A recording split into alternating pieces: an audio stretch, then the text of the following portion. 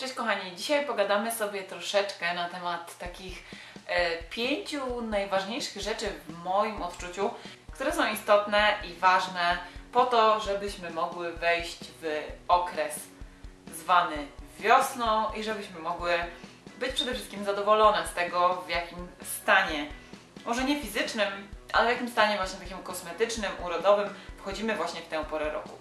Jak widzicie, jest to taka totalnie luźna pogadanka. Ja w zasadzie tak naprawdę nie przygotowywałam się jakoś specjalnie do tego filmu, bo też e, chciałabym, żeby po prostu niektóre filmiki właśnie były takie bardziej pogadankowe, takie bardziej żywiołowe, przemyśleniowe.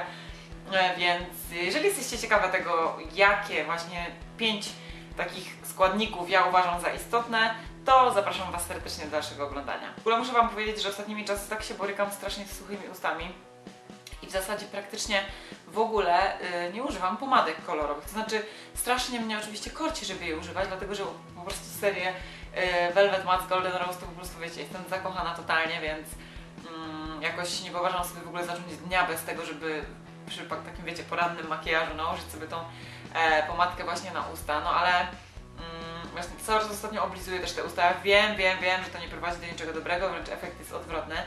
No ale słuchajcie, takie strasznie już dbam o to, żeby je natłuścić na noc, żeby w ciągu dnia smarować je co 5 minut em, tą, jak to się nazywa, słuchajcie, no, masełko, masełko z Nivea i smaruję tym naprawdę cały czas na okrągło, a po prostu mam taką manię mm, zagryzania tych warg cały czas, że non stop mam je podrażnione i wysuszone i po prostu nie wiem już co mam tym zrobić, zrobić. cały czas się oblizuję, wkurza mnie to strasznie. Więc yy, tak tym oto narzekaniem płynnie wchodzę właśnie w podpunkt numer jeden, który uważam, że jest bardzo istotny właśnie w przygotowaniu swojej cery i yy, twarzy do wiosny. To jest właśnie zadbanie o to, żeby wypielęgnować usta. I moim zdaniem najprostszy sposób na to, żeby je tak wygładzić, wiecie, doprowadzić do takiego ładu i składu, to jest po prostu podczas mycia zębów, kiedy już umyjemy zęby i wypłuczemy szczoteczkę do zębów, Jaka ona by nie była, może być też elektryczna, może być zwykła, zależy co tam macie, co po prostu Wam jest wygodniej. I wiecie, i po ustach sobie tak delikatnie, takimi okrężnymi ruchami możecie pojeździć troszeczkę i te usta y, przez to y, jakby zedrzecie, można tak powiedzieć, ten martwy naskórek y, i y, widzicie znowu co robię? Masakra. No i w ten sposób zadrzecie sobie ten martwy naskórek, troszeczkę też um, wymasujecie te usta, więc one też troszeczkę nabiorą koloru, staną się takie bardziej żywe i moim zdaniem to jest właśnie bardzo fajna metoda. Jeżeli e, też lubicie, to możecie sobie zrobić e, własnej roboty domowej takie m, mm, swego rodzaju peelingi do ust, które można bardzo łatwo zrobić. Też jest na internecie bardzo dużo filmików na ten temat. Więc e, zachęcam do tego, żeby po prostu sobie, nawet chyba Eva Red Lipstick Monster robiła właśnie taką serię filmików Do It Yourself i tam właśnie ona robiła takie Yy, takie peelingi właśnie do ust takich malutkich słoiczkach, więc ewentualnie Wam podlinkuję ten filmik pod, yy, w opisie pod moim filmem. Yy, bo ja sama nie będę robiła takiego filmiku, dlatego że po prostu no, tego jest mnóstwo i mm, no bez sensu w ogóle, no nie wiem, no chyba, że bardzo będziecie chcieli, no to wtedy ewentualnie mogę coś pokombinować, więc dajcie znać. Nawilżanie tych ust to oczywiście jest bardzo ważna sprawa, no ale ja tutaj teraz jak widzicie tej kwestii nie jestem autorytetem, ponieważ moje usta e, no, na piękne i e, nawilżone nie wyglądają zdecydowanie, więc e, tutaj się nie będę Wam mądrzyła, ani w żaden sposób Wam dawała jakichś złotych rad.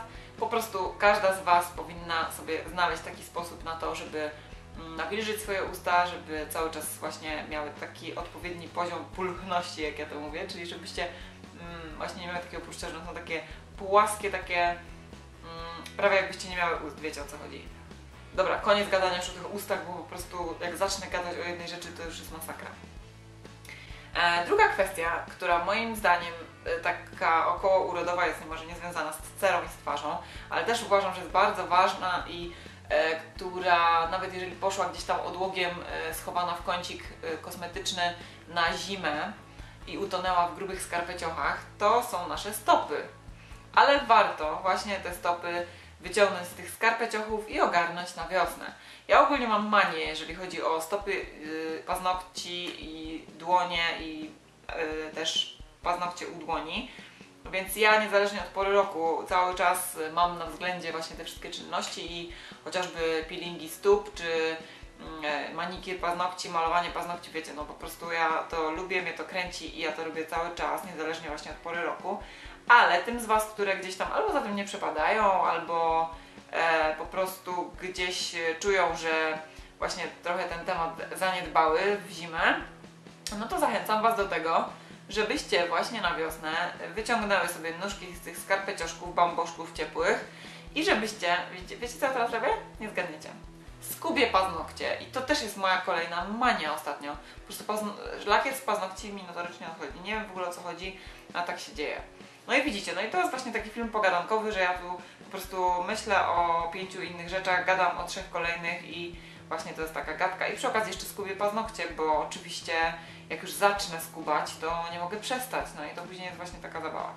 No, w każdym razie wyciągnąć nóżki ze skarpecieszków, bamboszków i po prostu albo udać się do kosmetyczki, jeżeli sama nie lubicie tego robić, bo też ja to rozumiem całkowicie i mm, szanuję to, że nie każdy po prostu lubi grzebać gdzieś tam przy tych stópkach, więc po prostu e, albo udać się do jakiejś kosmetyczki na peeling, albo po prostu we własnym zaciszu domowym e, zrobić sobie właśnie namaczanie stópek najpierw w jakiejś wodzie zapachowej, w jakiejś soli czy coś w tym stylu, a później zwykłym takim pumeksikiem, e, jeżeli nie macie wprawy z e, innymi ostrymi narzędziami do zdzierania martwego skórka z, z piętek, no to właśnie możecie sobie zrobić taki zwykły peeling, po prostu e, troszeczkę częściej, ewentualnie żeby, żeby porządnie te właśnie stopki doprowadzić do ładu i składu. I w ten sposób oto nie mam już lakieru na jednym paznokciu.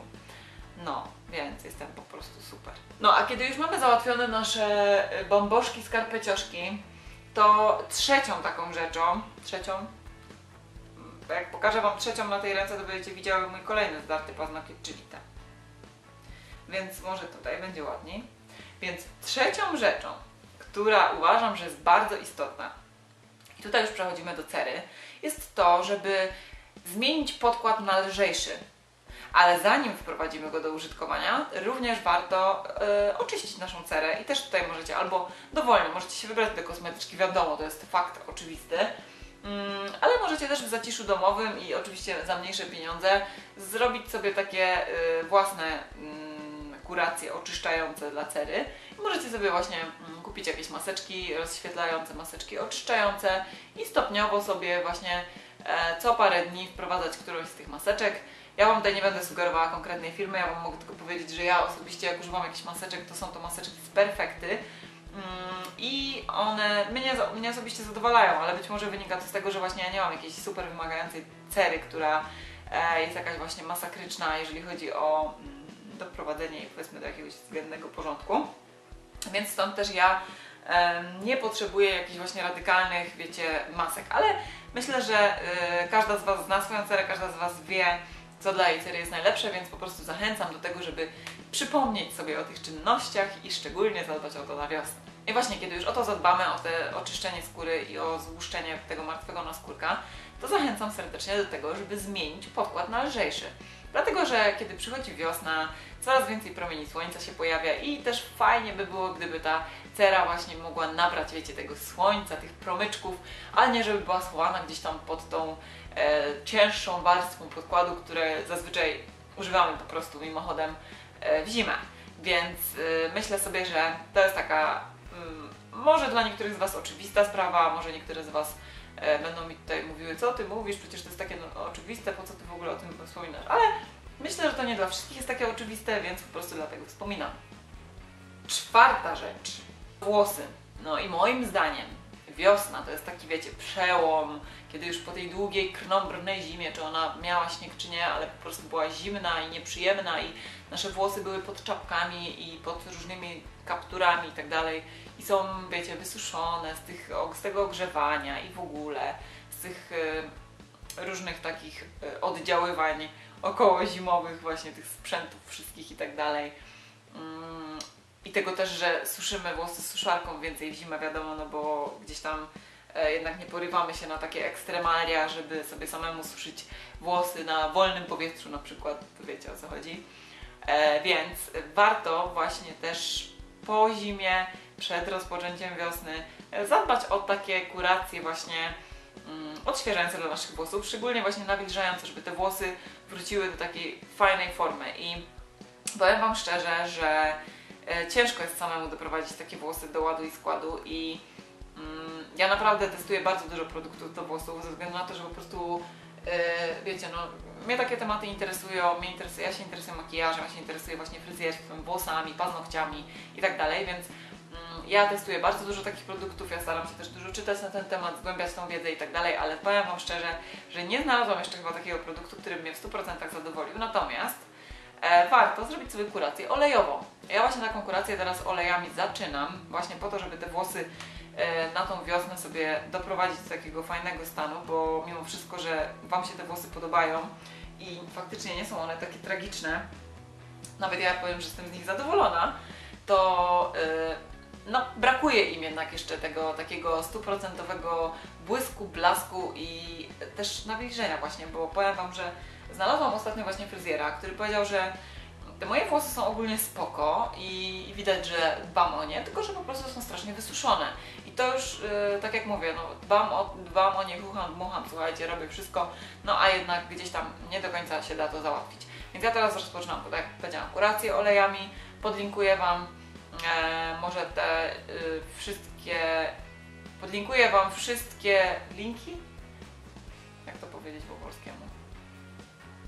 Podam Wam w opisie informacje do linków właśnie, y, do sklepów, w których możecie zakupić właśnie takie oleje e, naturalne. Wiecie o co chodzi? Oleje żożoba, oleje makadamia, mm, oleje z awokado i tak dalej. No i właśnie tymi olejami warto sobie te włosy na noc szczególnie, masować sobie te oleje właśnie we w skórę włos, w skórę głowy i właśnie w całe włosy i bez krępacji. Możecie to zrobić na noc yy, i możecie sobie, żeby zabezpieczyć sobie teren do spania na poduszce, to możecie po prostu sobie yy, nałożyć ręcznik na te włosy czy cokolwiek yy, i po prostu iść tak spać i rano normalnie umyć te włosy tak jak zawsze.